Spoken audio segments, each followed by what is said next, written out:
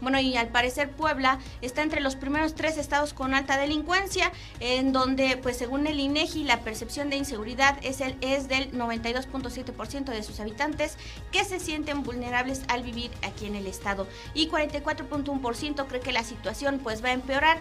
Ayer en medios nacionales exhibieron al gobierno del estado por mantener 200 patrullas paradas, denunciando falta de personal para su uso. Hay que recordar que el contrato vigente de más de 1.300 eh, millones con una renta por más de 51 millones mensuales, pues dicho reportaje constató que con drones la existencia de estas patrullas, habría que preguntarles a los diputados locales si habría alguna investigación respecto a este caso.